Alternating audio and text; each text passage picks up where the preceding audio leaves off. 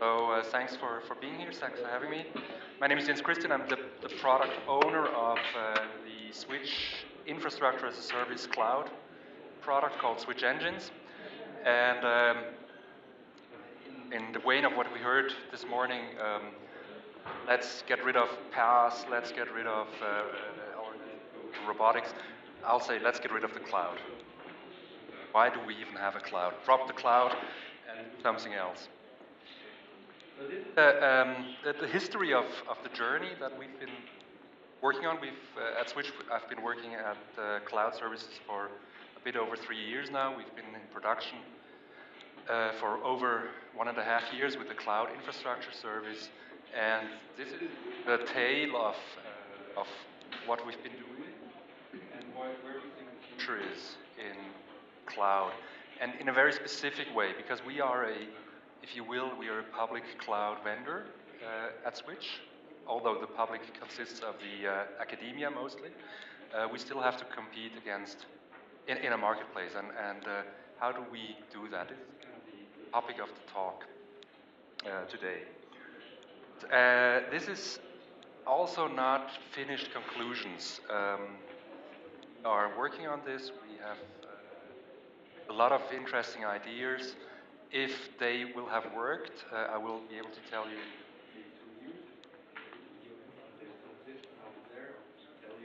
how all these things panned out. This is a work in progress, and as such, as a case study in uh, progress. Now, cloud, of course, is is a, a very undefined thing. Uh, let me give you words about our cloud. We're, we have built an, an infrastructure as a service cloud about 120 servers.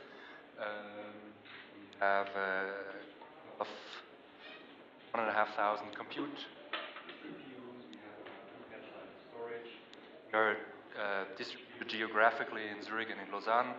We are building on open source softwares, on OpenStack. We have, uh, are using an open storage system called Ceph, and we have around um, five, six, seven hundred users on the cloud at any given time, and running between anywhere between 700 and 1,000 virtual machines at the moment.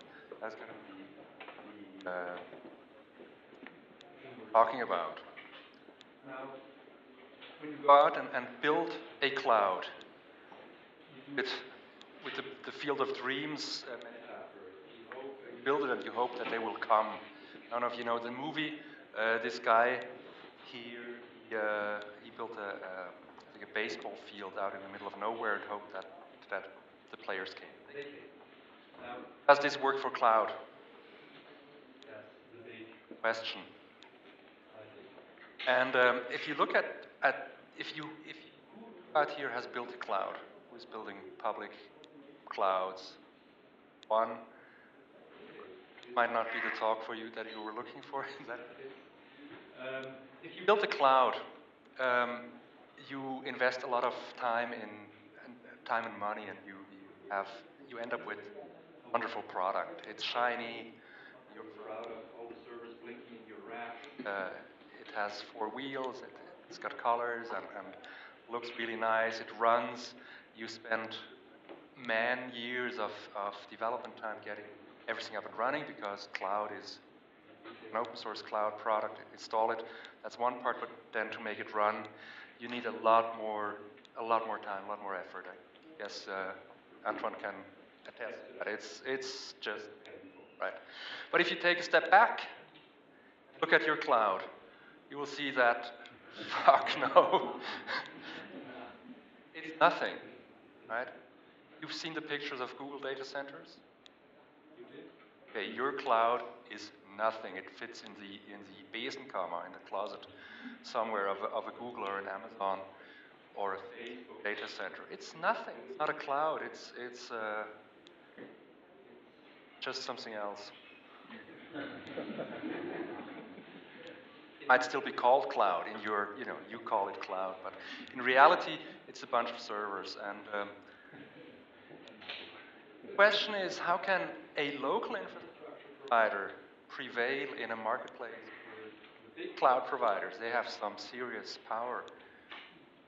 the Amazons, the Googles, the Microsofts, they offer a lot of things that you just, or we, cannot offer. Okay, not, uh, but as, as us, as a cloud provider, it's, it's uh, a different, different scale. So, in order to not end up like that, as uh, would be the danger if, if one of the big cloud players come rushing your way. The question is, how do you compete? Compete you have to, to compete you have to compete with them. Otherwise, why are you doing it? You want to sell your services, you want to sell your infrastructure, you want to have people computing and, and stuff on your cloud. How do you how do you compete? Do you compete on scale? Probably not. Do you compete on price? Without scale, it's difficult to compete. Do you compete on the amount of, of technical services that you offer? Anybody taking a look recently at Amazon uh, service offering? It's like long. They've got a couple of thousand engineers working on it. No, you're not going to compete on that either. Uh, it's so what are you going to compete on? Where is your unique selling proposition? Where is your where is your tag into this market? Uh, because as Antoine said before, it, it's commodity, right? What, what we're offering as a cloud provider is total commodity. People can take, pick up their VMs and take them somewhere else if they even have been to you. So the question is, I think what where you can where you can start, and, and maybe this is the the uh, perspective of our unique perspective as, as at Switch. I'll come to that in a moment. Uh, is to ask what do your users want? What do you know what your users want? Are you in a market where you understand? And if you do, if you are, do you understand what they want? One of the things um, Switch is doing is we're in a, in a very specialized market. We're in the market, actually we're, we're not in a market even, we're in a protected ecosystem. Uh, Switch is a foundation, a non-for-profit foundation funded by the Swiss university and the Swiss government. We've been doing a lot of basic infrastructure work for over 25 years. Um, most of you probably know Switch through the domains that you have had with them and that you have had to transfer to somebody else. We've been, providing infrastructure to universities. We have cabled the country. There are half thousand kilometers of fiber that we own we. Provide internet to the people. We run a 100 gigabit backbone. We do a lot of things in identity management, and anybody that has been to a Swiss university has an AAI account, single sign-on federated account, and identity. We want to take that one step further and have a lifelong identity, learning identity. Out right now. We have security uh, that work on keeping the infrastructure secure because uh, you can imagine that a campus network uh, where 10,000 students plug in their laptops to be an interesting case for security. Uh, we have uh, things from we offer procurement services, uh, we offer video conferencing, lecture recording, God knows what. And our customers are, first of all, IT services at the universities, researchers, lecturers, and students. So this is our market, if you will. And sometimes this market comes to us and says, we want services. One such case is uh, the ubiquitous sync and share service. I don't know, otherwise known as Dropbox. Universities came to us and said, hey, um, we don't like people using Dropbox. Go out, build something for us that is uh, located in Switzerland and cheaper and faster and more secure and God knows what. So we, we went out and did, then the same people came back and laughed at us. Why are you competing against services of Dropbox? Which was interesting. You know, first they laugh at you, then then you win. Uh, at the moment, we have about 90% uh, of the higher education signed up for this service. We are running a very successful sync and share service based on open source software. And uh, users got what they asked for. It took, took a while, but we can deliver what our are asking for. But, and this is where my where I argue is there is an even a third way to get get into um, markets. And this is uh, the only scientific slide that I have in uh, based on the IKEA effect, when labor leads to love. And you can look up the paper there. Who has uh, built an IKEA furniture? Right, all right. So you know the process. You go into the uh, IKEA, you pick up the, the big cardboard box, you, uh, come home, open it, scratch your head when you see the, uh, the instructions. You sweat, you struggle, you stumble, you fumble. In the end, you have your billy shelf or your sofa or your Knut or your Holgar or whatever, your large Hadron Collider, and you love it. you love it because you spent labor on it, worked on it, and, and this is a scientifically proven effect.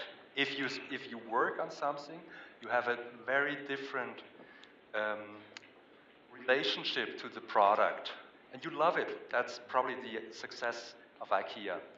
So, um, how do we make the IKEA effect work for us? I'd like to switch microphones, hand over my colleague Patrick, who is the, the master of the nibbles, or what do you call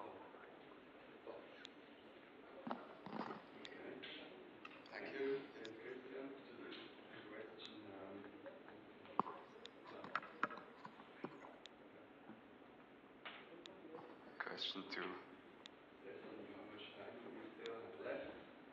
Did uh, 11.15 have to end? Okay, so we'll catch up for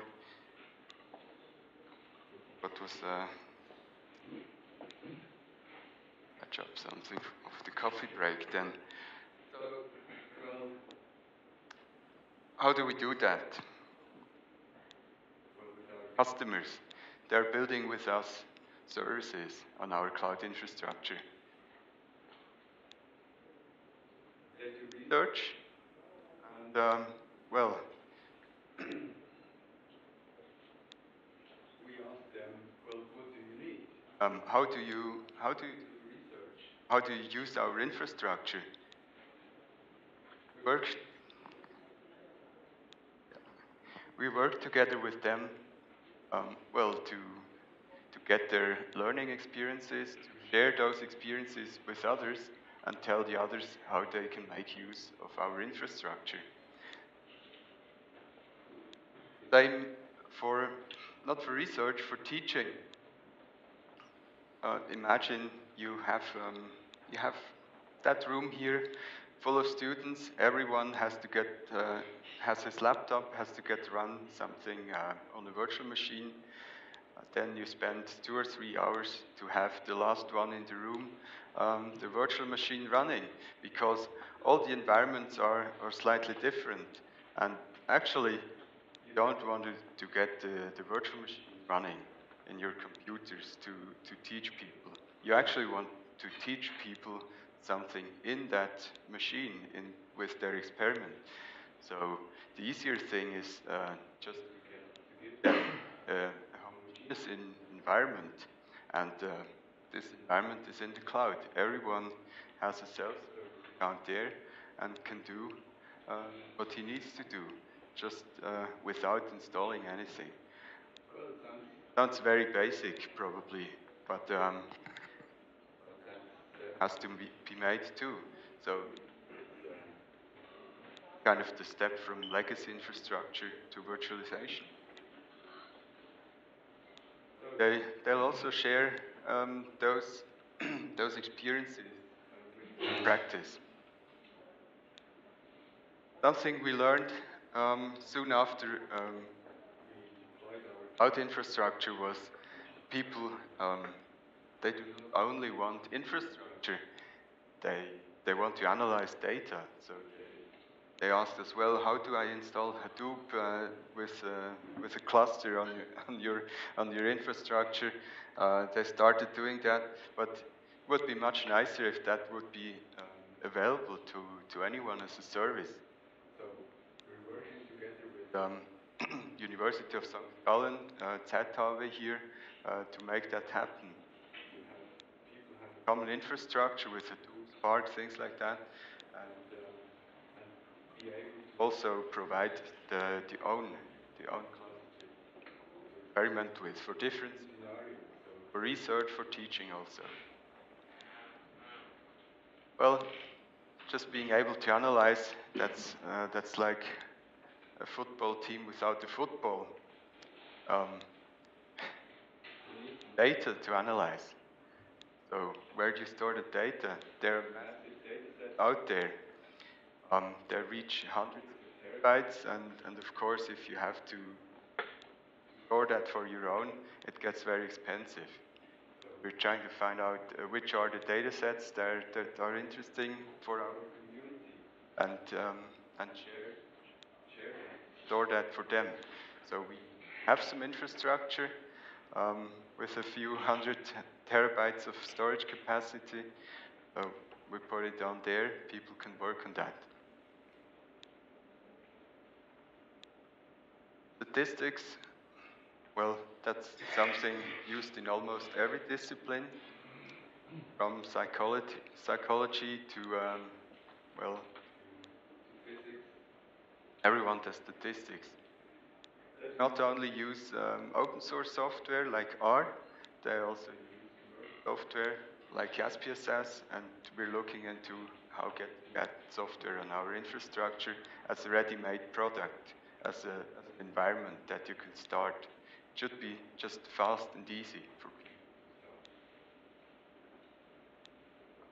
Private cloud, that we are in some sense, as Jens Christian said it, we are a public cloud provider, but um, we have institutions with their own networks, with their own infrastructure, and we want to enable them to, to grow that infrastructure into our environment that we provide them, while still profit from their own firewalls and then their, their DMZ into our cloud.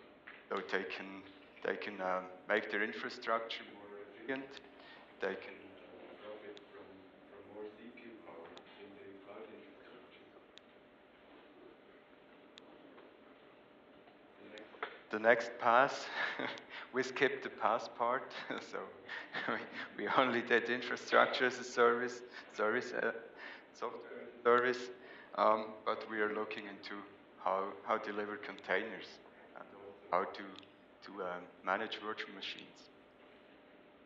So that's uh, probably the, the, the, next important step after virtualization.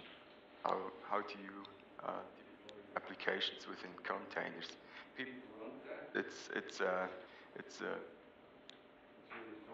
out of Indian projects like the Blue, Blue Brain project, um, will deliver that as a service. Researchers, they work together. They work together internationally, and there the problem is, my environment, my tools to other people out there internationally? Um, they want to have uh, some, some simple tools, self-service tools, and some uh, collaborative editing tools, other uh, nice tools like uh, Python notebooks and a self-service application with, um, with one uh, single sign-on. So easy authentication. So, so we, we talk to professors um, that, uh, that play that through with their, their students, researchers, and help them also improve the service we provide. charging billing. Yes, that's uh, that's the reality. So well in the afternoon what, what they are doing. And of course, one of the issues is where do I find the application I'm looking for? Where do I find the service? That's what we do with a create a place uh, where people can, can find services, and also institutions can offer services to each other. And with that, um, there, as always, um, questions of um, procurement and, and legal support that, that we need. We have that ex experience um, and knowledge in-house. All of that is done within the so project. We do create academic services for our institutions. It's um, kind of a, a niche market, so to say. So our aim is not to, to compete with, uh, with Swisscom or, or. Um, our aim is to, to serve like ZHAW. started, we're more or less of the project. Um, maybe about the outcome. Work together, we're our eight project partners, and we're also funded uh, by the Swiss government. It's uh, co-funding in the sense that uh, half of the, the funding has to come from the institution.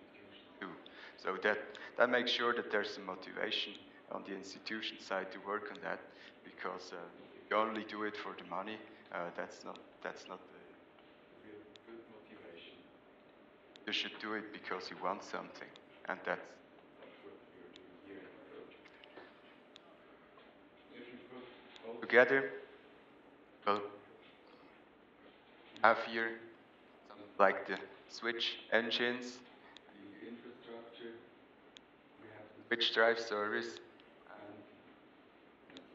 We say we scale up, have all those services on the same infrastructure.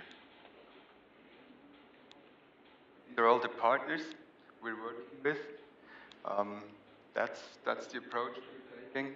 We're doing that together to learn from our partners what they actually need. Um, we're not in close contact with researchers as such at Switch working together with our customers, that uh, enables us to get in touch with researchers to know what they really want and to offer specific service.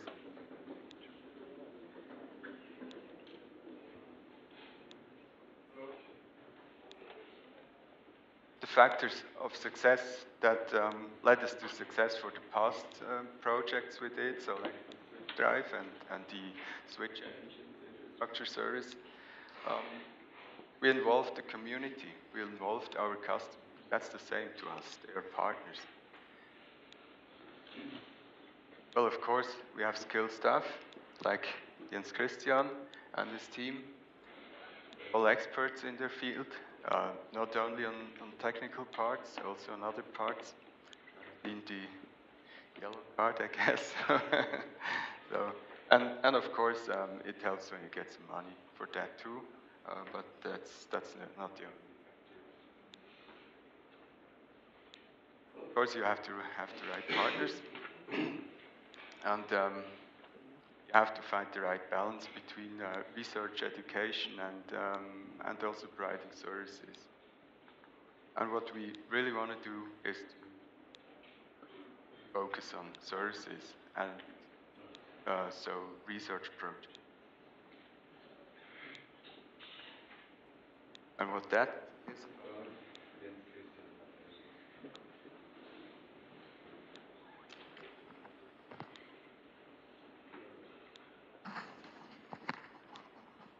Yes, in the end, it all comes down to, to build something that uh, is sustainable, um, well architected, realistic, I think.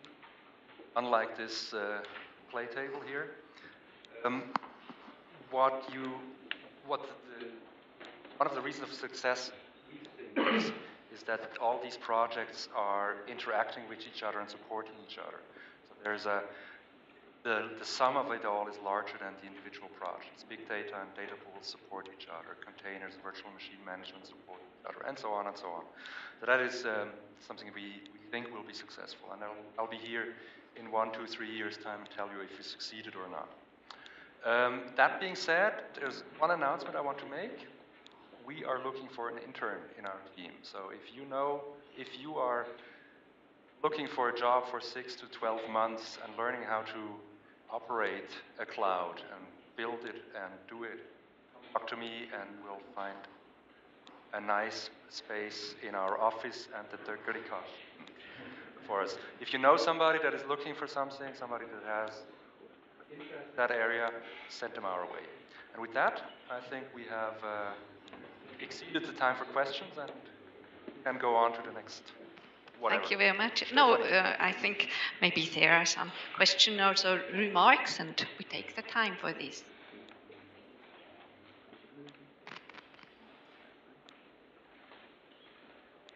Oh. Ah, yes. Uh, which OpenStack players do you use? Upstream or like Ergio, Argio? No, upstream. Upstream. Yeah, yeah, we do it all our own. We, we're uh, right now upgrading to Liberty as we speak. And how, you, how do you deploy it? Like, have you some custom, uh, like Ansible playbooks? We have, uh, we're using a mixture of uh, OpenStack Puppet modules. We have written our own Puppet modules. We have written Ansible scripts to control the Puppet update. Um, this is where my team is spending most of its time on, is getting the orchestration infrastructure running. And what about uh, updates? Like, can you do in-place OpenStack updates or? Yes, of course we do in place. Of course we do in place OpenStack. Okay. Not like the others that deploy new infrastructures and then move the customer. We have done three OpenStack updates in our infrastructure without any downtime too. Took us a couple of years, man years to get that, but we did it. Yeah.